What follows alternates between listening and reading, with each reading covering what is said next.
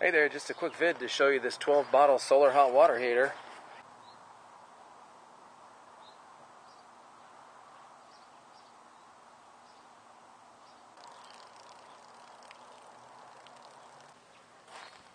Got a little bit of a leak on the clamp right here. I'm going to go ahead and tighten that up. Alright, it's running perfect now. I got the leak taken care of. I tightened up the clamp over here. No leak.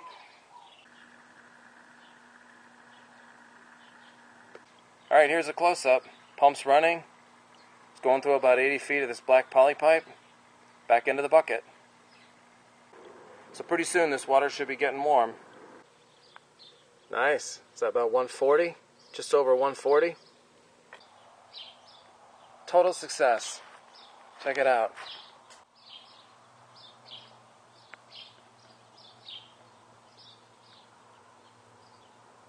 Beautiful.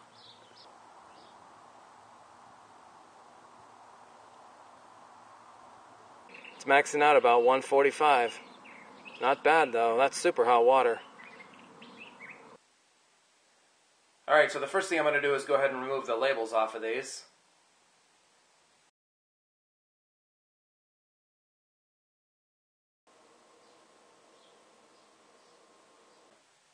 Now just drill holes like this, one in the top, one in the bottom of each container.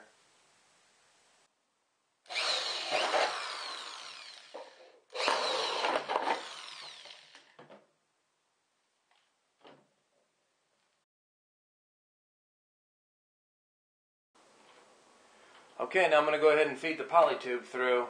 So feed it through from the bottom.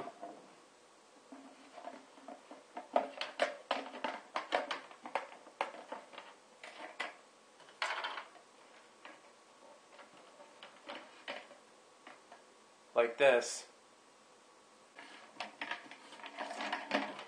Don't forget to put the lid on each time.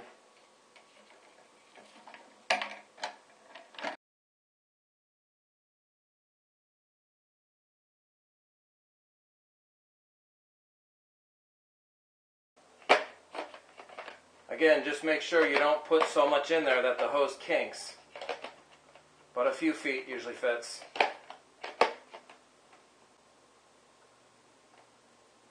About like that.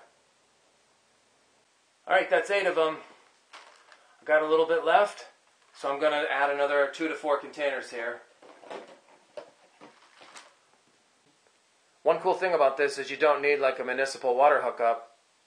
It's a self-contained closed loop. Just goes from the bucket through the 12 mini or micro solar water heaters back into the bucket. After a few times, if you got some nice bright sun on these collectors, should get some nice hot water.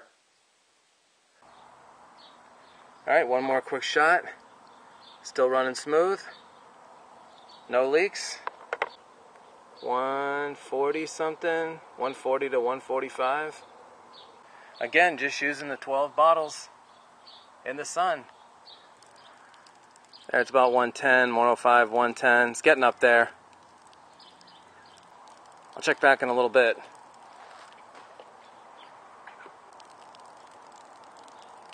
It's like about 125. Hope you can see that. That's super hot water right there.